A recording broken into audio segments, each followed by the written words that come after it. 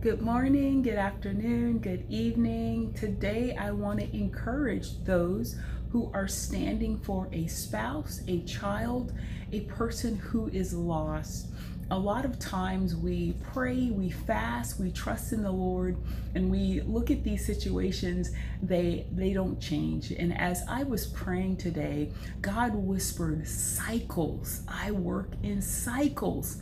You know, we get so caught up in free will. You know, everyone wants to say, hey, this person has free will, but God says, look at the, at the characters in the Bible. He had me look at Jonah. Jonah had a hardened heart. God had called him for a purpose, and he made a decision not to follow through with that purpose. And as we see, God graciously, with his mercy, brought him to the end of himself by sending a fish. We also see Saul going about trying to kill Christians, you know, going off of what he thought was right until God knocked him on his butt and spoke to him and said, you know, Jesus said, Why are you trying to kill me? And it was in that moment that there was a revelation that, you know what, God is real.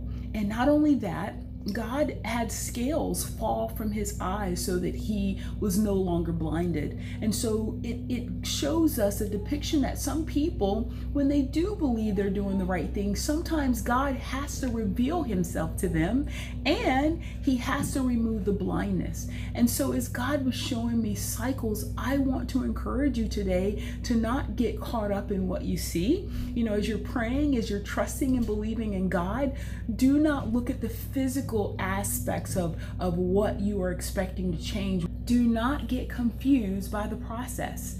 Things work in cycles they will work themselves back around. You know, we see with the sun, the sun always rises every morning. We know that the earth is always spinning. We look at births, we know when that person is pregnant that there will be a child. You know, you are birthing something. It is so powerful when we apply the word of God to our situation. And He's already shown us that a man may go his own way in his own heart, but He will orchestrate those steps steps. And so be encouraged. God has gone before you, He's made your crooked path straight, and there is nothing that He will not do for His children. And so as you are praying, as you are trusting in God, as you are believing in that turnaround of that spouse, that child, that family member, that neighbor, trust in His cycles we see the evidence of his cycles in the Israelites. I mean, we actually saw them,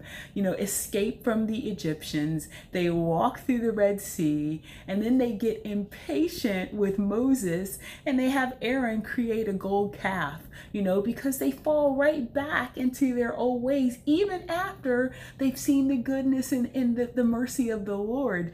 God works in cycles because, as we know, when the Israelites would get hard hearted, and they start serving other gods and they begin to sin and just do whatever they wanted to do, God would allow them to be overtaken by their sin. And a lot of times we look at that as as a hardness, as a hardship, as, as God, why are you allowing, you know, them to be enslaved? Why are you allowing these things to occur? But we see that his justice is actually mercy because he does not want them to perish. He does not want them to live void of his peace, you know, out of his will. And so we see this is mercy because he brings them to the end of, of themselves and when they're brought to the end of themselves, they cry out to the Lord. They're brought to a godly sorrow. They're able to go to God and repent and turn back to Him. God is the God of restorations. And so we understand